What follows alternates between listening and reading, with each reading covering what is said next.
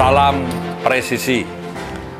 Uh, implementasi road safety policy pada konteks presisi yang prediktif, responsibilitas transparan, dan berkeadilan adalah berkaitan dengan bagaimana terwujud dan terpeliharanya lalu lintas yang aman, selamat, tertib, dan lancar.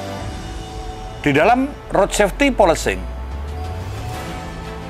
polisi menangani masalah-masalah road safety atau masalah lalu lintas yang aman, selamat, tertib, dan lancar adalah untuk mengimplementasikan amanat Undang-Undang Lalu Lintas Angkutan Jalan.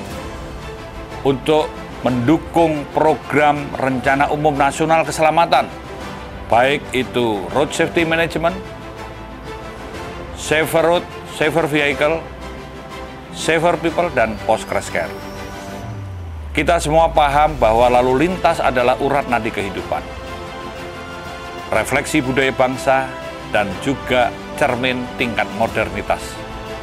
Konteks presisi yang prediktif adalah berpikiran untuk visioner, untuk proaktif, dan juga problem solving, memecahkan masalah-masalah yang dapat mengganggu, terhambat, terganggunya produktivitas masyarakat karena lalu lintas terhambat kelancarannya, keamanannya, keselamatannya, dan juga karena ketidaktertibannya. Berkaitan dengan hal itu, tentunya kita melakukan pemikiran-pemikiran bagaimana membangun IT for road safety dengan sistem IT for road safety atau dengan sistem-sistem elektronik yang saling terhubung dengan membangun back office, application, dan network untuk memberikan pelayanan di bidang keamanan, keselamatan, hukum, administrasi, informasi, dan kemanusiaan yang cepat, tepat, akurat, transparan, akuntabel, informatif, dan mudah di diakses. Nah, sistem-sistem ini tentu berkaitan dengan hal yang prediktif adalah juga untuk memberikan responsibilitas kepada masyarakat bahwa polisi mampu memberikan pelayanan yang prima dan memecahkan masalah, mengutamakan pencegahan. Dan ini juga karena ada bentuk pertanggungjawaban secara moral, secara hukum, dan juga secara administrasi serta fungsionalnya. Road safety policing tadi dikatakan bahwa ada bidang edukasi yang nantinya juga dikembangkan menjadi literasi atau menuju road safety literation atau literasi bagi road safety. Kemudian kita juga mengembangkan pada sistem training dan juga edukasi serta coaching.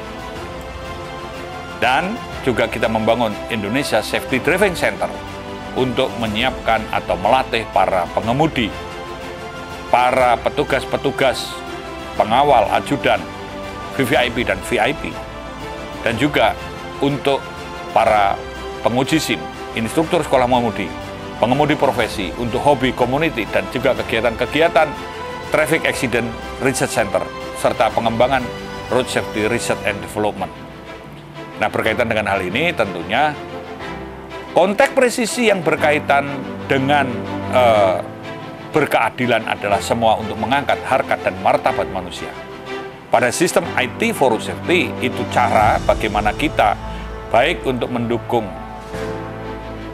road safety management, safer road, safer vehicle, safer people, dan post crash care adalah membangun dengan adanya back office application dan network yang berbasis artificial intelligence dan internet of things pada TMC atau Traffic Management Center, Safety and Security Center untuk mendukung safer road, dan juga membangun ERI atau ERI atau Electronic Registration and Identification untuk mendukung safer vehicle sehingga dapat terbangunnya menuju automatic number plate recognition dan juga mendukung untuk terbangunnya uh, safer people atau safer user melalui safety driving center dan post crash care melalui intelligent traffic analysis yang semua nanti dikerjakan pada smart management yang diawai oleh para petugas-petugas cyber atau cybercop dan ada big data system serta menuju kepada one gate service.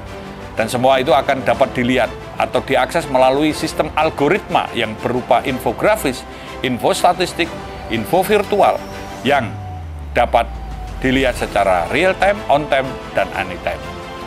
Berkaitan dengan hal itu, tentunya kita juga menyiapkan pada program-program untuk Intelligent Road Safety Media Management, serta pada sistem-sistem bagaimana mendukung untuk rekayasa lalu lintas, penegakan hukum yang berbasis elektronik atau ETLI, dan juga kita membantu pada pemerintah atau program-program pemerintah untuk membangun electronic road pricing, electronic toll collecting, e-parking, e-banking, e-samsat melalui ETLE. Ini Electronic Traffic Law Enforcement juga akan dikaitkan pada Traffic Attitude Record dan program The Merit Point System. Sistem-sistem ini tentu akan saling terkait. Bagaimana bisa dioperasionalkan untuk yang sifatnya rutin, khusus, dan juga kontingensi. Dan ini selain itu juga berkaitan dengan bagaimana untuk bisa mendukung analisa dampak lalu lintas. Berkaitan dengan membangun sinergitas antar pemangku kepentingan melalui traffic board. Dan juga kita untuk memberikan pelayanan yang prima, yang cepat, tepat, akurat, transparan, akuntabel, informatif, mudah diakses melalui sistem-sistem online, sistem-sistem elektronik yang tentu ini akan menjadi bagian dari implementasi presisi yang selalu prediktif, responsibilitas, transparan, dan berkeadilan.